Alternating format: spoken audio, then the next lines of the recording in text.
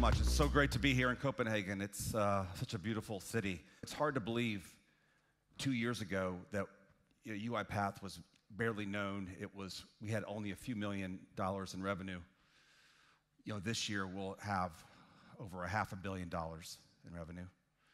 And I say that in a humble way to try to show the degree to which things are moving so fast. Welcome to a world of software robots. Robots do the work we hate, right? Nobody misses the work that robots do. Every single board member and C level executive and management team should ask in everything you do could we automate this? How could we automate? Have you thought about automation? That mindset is, is critical. And it's interesting when you look at the growth rate of companies involved in automation uh, with RPA, uh, it's actually faster than cloud was in the beginning. Our vision is a robot for every person, a robot for every student. There are three pillars then that underline these our vision and mission. The first is a commitment to open innovation. Open is critical. Our community, right? You can download, get trained. You can, if you're a small business, you can use our software for free. If you're a university, you can use it for free. If you want to give it to students, you can use it for free. That democratization commitment runs deep within our company. Another key concept robots learning skills.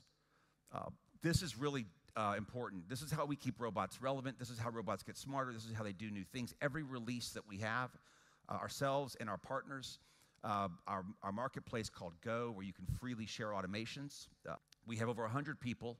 We have an, an academic alliance, and um, we have substantial commitments to helping uplift, reskill, and skill all ages um, older, younger, uh, to, to be able to transition and build digital era skills, to be able to interact and use RPA, to be able to build a career, to be able to be more valuable to their organizations. That commitment is absolutely critical for our, uh, for our company, and it's one of our top goals. This automation first mindset is critical. Let me talk about the journey you're on, if you don't mind. This, is, this, is, this one's really important um, because this is sort of how you progress. Not everyone starts in the same place, but this is kind of what happens with automation and with, our, with RPA and UiPath. Imagine if every single employee in your organization, your, your uh, public sector or, or a manufacturer or retailer, could bring 10% productivity benefit in a year to your company. The numbers are staggering.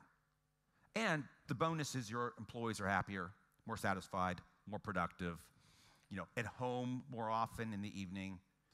Robots working with people in partnership.